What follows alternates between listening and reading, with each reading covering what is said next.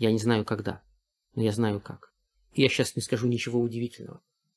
Постепенно, шаг за шагом, день за днем, месяц за месяцем, год за годом в нашей стране будет меняться общественное мнение. Путин исчерпал себя как государственный руководитель.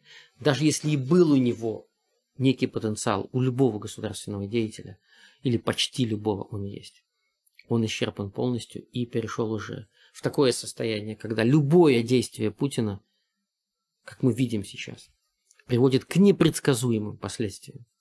И невозможно отрицать тот факт, что Пригожина таким, каким он стал сейчас, воспитал, вырастил и выкоренил Путин.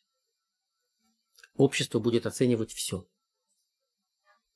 Все слова, все действия, все события. Общество будет переживать эти трагедии и взрослеть. Общество будет разбираться в происходящем. В обществе будут нарастать усталость от такой власти, нарастать критичность к такой власти, нарастать нетерпимость к насилию, потому что инстинктом человека является жизнь, а не смерть.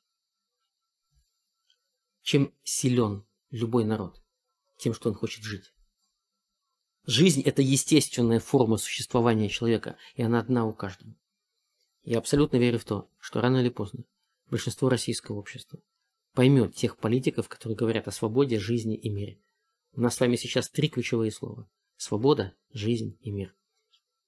И нам нельзя сходить с этого места. Нам нельзя сходить с этой позиции. Нам нельзя идти в этом вопросе ни на какие компромиссы.